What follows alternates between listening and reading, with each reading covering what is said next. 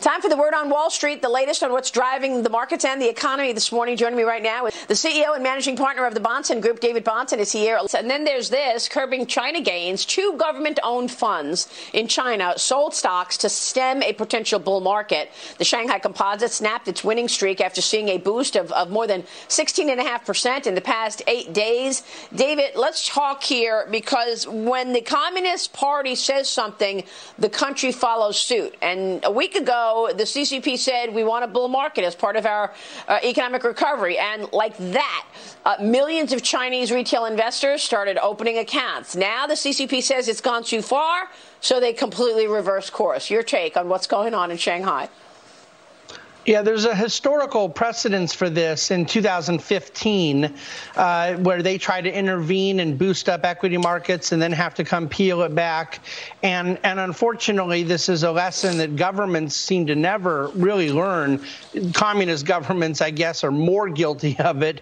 These interventions come at a cost. And so we know that intervening into equities is very distortive when governments are buying as a non economic actor and then promoting others to do the same, someone ends up holding the bag because it distorts value. Yeah. By the way, David, you wrote a whole book on Elizabeth Warren and, and, and her economic policy. What are your thoughts on what you heard from Joe Biden yesterday?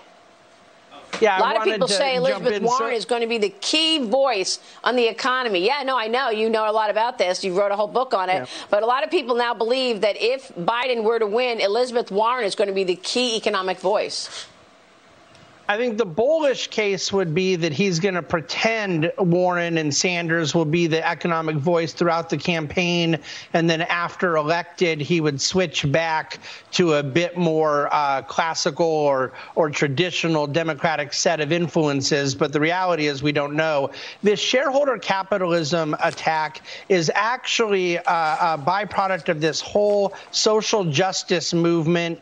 Uh, Larry Fink is talking about it. You remember Maria, the Business Roundtable last year, saying share, uh, corporations should no yep. longer exist for benefit of shareholders. That's what he's getting at. It's dangerous. It's economically ignorant. And God, do I miss Milton Friedman.